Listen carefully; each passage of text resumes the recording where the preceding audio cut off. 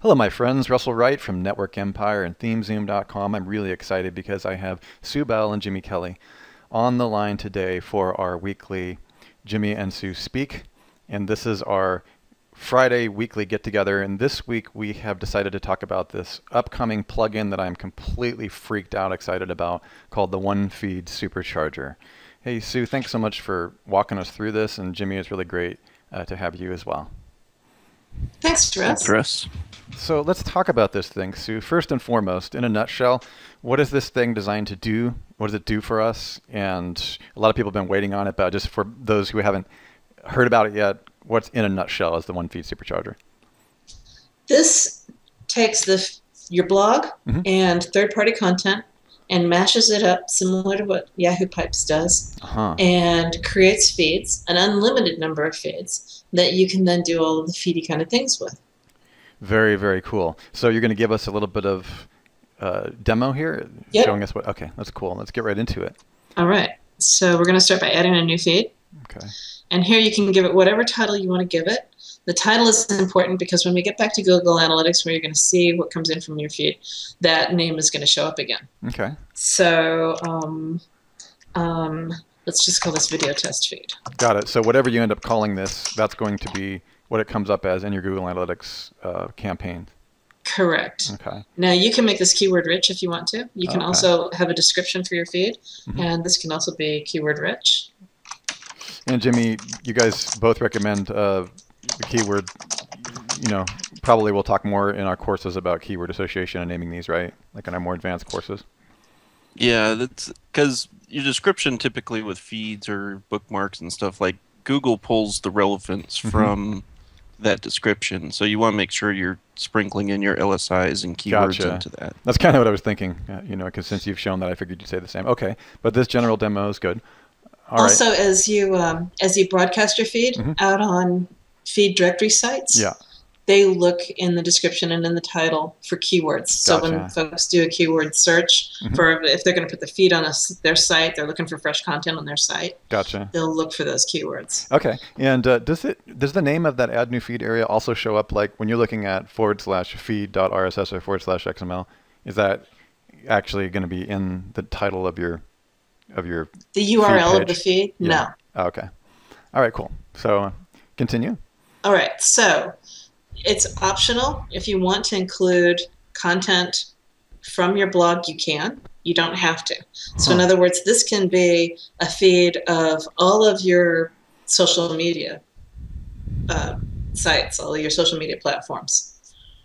So, for example, you could have um, Storify, Scoop.it, YouTube, Pinterest, Delicious, Tumblr, Digg, StumbleUpon, Reddit, you could take all of those feeds and, and pull them together and throw them into this. Okay, just to, to clarify.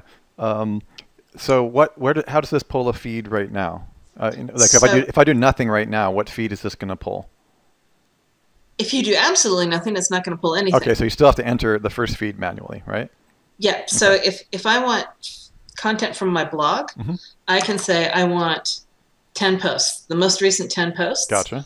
And I can either get it in summary or in full content. Right okay, which is that one of my biggest beefs is if I if under my um, my settings mm-hmm. I set it so that my feed is one or the other. Right. I can't get the other one. Right? right. So this gives you the opportunity to have both a summary and a full content. Oh, interesting. So yeah, and so your not, now can.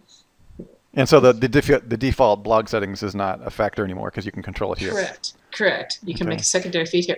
Now, also over here on your blog, you'll see all of your posts. Mm-hmm. And so if there's a post that you want to be sticky in this feed that you're creating, mm-hmm. it never goes away. So in other words, normally with feeds, they've got, yes. in this case, your most 10 recent posts. But let's say that you always want to have this aliens post in there. Right. so that no matter where your feed goes, people are going to see that aliens post you're going to always get a link back to that aliens post page and pe- more people will visit that alien post yes okay? this has been a major pain for me and as far as i know this is the only thing out there that does that what you just described sticky, exactly. sticky and feed and the advantage of that for listeners is that there are times when you have really super important urls that are out there you want them to continually be exposed and continually to be hammered and parsed and to give you that more more link juice which jimmy and sue get into in more advanced courses so what you're saying just before we move on to the ad feed uh-huh. um, the default uh, feed to this test, like for example, this is a test blog. So, uh, it would be it would be pulling the feeds. You're talking about the blog that the plugin is installed on is the is the default feed that it's going to be using if you don't add any. It's not going to pull any content from this feed unless, or from this blog unless I put something in there. Right. If it's zero, it'll never do anything. And you exactly. So I can delete this and I can put in five other blogs down Mhm. here, Uh-huh. and it'll it'll put those five blogs together and not any content. Gotcha. So blog. it also acts as almost like an external software. It doesn't have to associate with this blog at all. You can mix any number of feeds from any locations and just use this as like a hub. correct. Gotcha. Okay. Okay, so then um, let's put in a YouTube feed. All right, Mhm. and let's say that I want, uh, let's put in five videos from this YouTube feed. Okay. And then let's add another feed and let's put in Pinterest. And let's put in 10, 10 images from that Pinterest feed. Gotcha.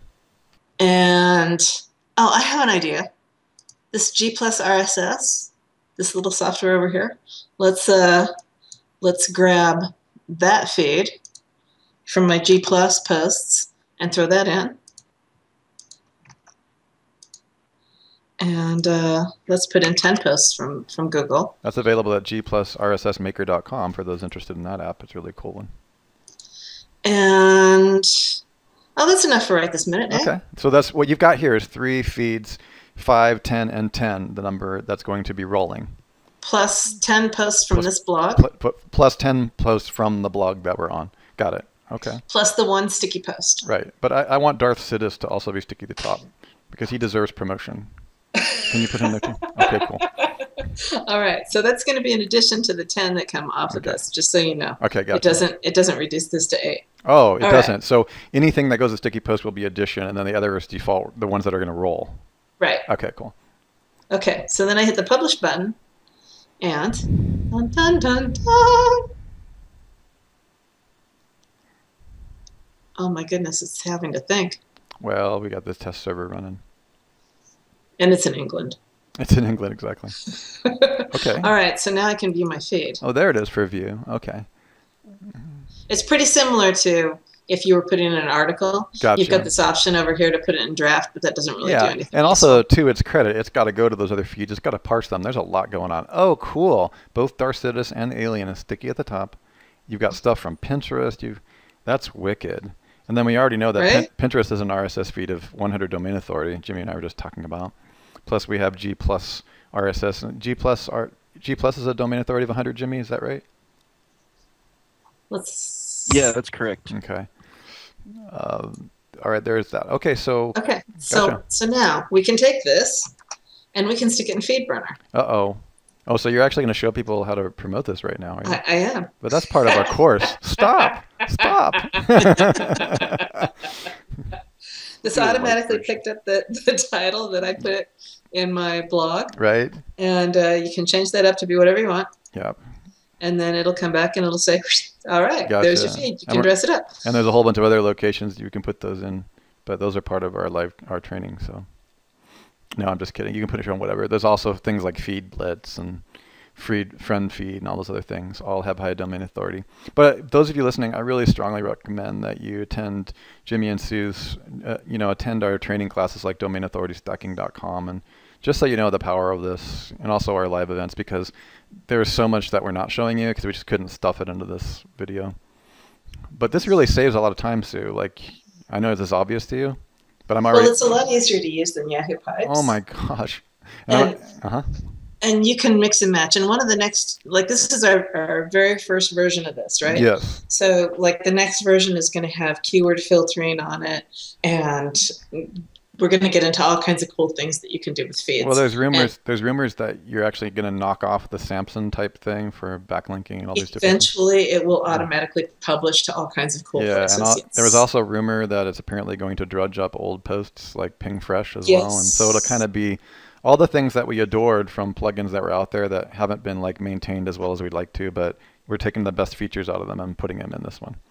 exactly. Not that we don't like all we you know we love and like and love all those plugins. We just we want our own version that just takes the cream and you know we don't want to focus Makes on it easy. Yeah. Okay. exactly. One, Got it. And one it's- plugin to rule them all. One plugin to rule them all. dot com. Uh oh, I'm going to over to my domain purchasing location here. Just kidding. I actually have to buy that now that you said it, Jimmy, just because every time you say something, someone goes and buys a domain. I went to some obscure domain that you like mentioned like haphazardly on like an OMG webinar and it was gone like after the webinar. Just, right. It's hilarious. okay, continue. All right. So there's all kinds of things that you can do within FeedBurner to publish your publicize your feed. Right. Uh, you can also publish your feed through FeedBlitz. I love FeedBlitz. I love FeedBlitz. Uh, we talked before we videoed this to give you guys a little tip. That's a domain authority of 83, and I'm going to have Jimmy look more at it. As you know, it's not like a 90 or 100, but it, heck, you know, for 30 seconds, it's still pretty cool. Right? Yeah. Every little bit. Helps. Every little bit. Don't get Jimmy started on this topic. There's FriendFeed. And then FriendFeed is more about uh, what is the domain authority of FriendFeed? I've never looked at that. Oh, it's a 93. 93. Uh, I don't know what the feeds are, but that's pretty good. I still get traffic from FriendFeed, you know? On Network Empire, we still get traffic from that. And we set it up yeah. in like 2007. okay. Oh, yeah, then there's Hootsuite, which you can use for Hootsuite is a, a way of generally posting any of your feeds to the limited social media services that they have. But one of my favorite social media services that they have is Google Plus, posting to Google Plus biz pages, partially because it's robust and it is free for the first 10 accounts. So if you don't want to pay for $6 a month, you can get multiple accounts. Cool. Yeah. So then I'm going to come over here to, to Google Analytics and I'm going to show you where it is that you're going to be able to look for um, the output for this. Now, I don't have, we, we just got our hands on this plugin today. Right. So I don't actually have a Google account set up just yet. Yeah, but but what you would do in your Google accounts, you want to come here under acquisition and you want to look at campaigns. And here's where you'll see the name of your feed, right? So we called this video test feed. Right. So here you would see video test feed. And you can click into that and it'll show you um, it'll show you the individual pages, but what you have to do, the tricky bit that you have to do to um, to actually get to where the people were clicking mm-hmm. as they clicked on your feeds mm-hmm. is to come in here to um um um um hang on just a second destination page. So if you add destination page, which it doesn't do too much for, well, it does a little bit for this, but you'll you'll see your um, the feed name over here, and you'll see the page that they actually landed on here, and you'll see how much traffic went to each ah, page. so it's treating each the, one of your feeds. Okay, so it's treating the RSS feed site pages as destination pages in Google Analytics. It's treating your whatever your blog pages are. Now this is so so Oh, they're actually the, the you mean the pages being promoted through the blog then get the traffic and it'll say from RSS. Exactly. Okay, so gotcha. let's say that I'm not actually promoting this blog, but I'm mm-hmm. promoting five other blogs. Mm-hmm. Then I would look in the Google Analytics for those five other blogs. And in analytics under campaigns, I would actually see that feed yes, name. Totally gotcha. And I would see the destination on that particular blog. Oh, yeah, absolutely. Gotcha. Okay, that's that's fantastic. May even want to make those sticky on the next rendition. Yeah. Well, that, yeah. Actually, that's an idea that we have. they're I mean, pulling up as most popular. So. Yeah, that's exactly right. That's uh, that gives me some ideas. But again, everyone listening, this is the first version of this. Keep in mind that this is a one major but small part of the whole network empire socially activated, semantically web integrated, one web ring perpetual downstream domain authority stacking system, uh, which is all about you and your company. You know, to each his empire. And we've been working on this stuff for the last couple of years. And so all of this is part of an integrated system and is a very rare type of thinking process that our team goes through to give you the easiest possible broadcasting. And RSS is a significant and useful part of content broadcasting. Uh, and this, of course, is just one uh, major feature in the whole process of hands-free publishing of your of your content, and not not to mention major boon in now taking some of Jimmy Kelley and Sue Bell's principles of backlinking for safe and sustainable domain authority stacking, uh, making it a thousand times easier. So I'm really grateful that we've got this thing coming to market soon. It's just a really, really incredible. Uh, it, it is awesome. I'm totally excited and stoked. So I just want to let everybody know if you're in the Tech Foundation courses, mm-hmm. we'll be integrating this into the training for the Tech Foundation courses. Mm-hmm. But there's also a special aspect of this that will, um, where we're going to combine this with another plugin that we'll talk about specifically for in certif- certification because right. it it shows you how to tie your networks together. That's right. And, so. and uh, just to, since we're here, Sue, if you don't mind, uh, shameless plug, since we're so busy coding, if you could just go to themezoomcertification.com. I just want everybody be, to be aware uh, because we've done, we uh, have such a huge amount of different courses that it's I've been called out on not effectively marketing ThemeZoom certification enough, and part of it is that word of mouth is so powerful on this that we're pretty much sold out by the time it comes around. But I just want everybody to, to let you know that all of the things that we have have another level that we can only teach live in, in person. And we have moved the date uh, until April. Uh, what's the date on that? Yeah, it's actually April yeah. April 12th. Actually, this is a typo. This uh, okay, that's reversed. a typo. Just go up to the calendar actually then, um, and that way, yeah. Okay, we need to jump right in. I'll jump right in there and replace the April 12th. Um, and so the April 12th date is you, we have a early bird special offer until uh, January 1st of 2015, I believe. Is that correct, Sue? Yep. Okay. That's right. And so go ahead and jump in because you're going to save almost five or six grand on that. And we really do want you to have access to the more advanced levels of integration that we'll be teaching. And I know Jimmy's got to head off, and uh, I think that's enough for this event. I'll go ahead and post this under uh, Jimmy and Sue Speak and we'll go ahead and also put it under the one feed uh, supercharger and I'll start letting everybody know about this amazing plugin Sue.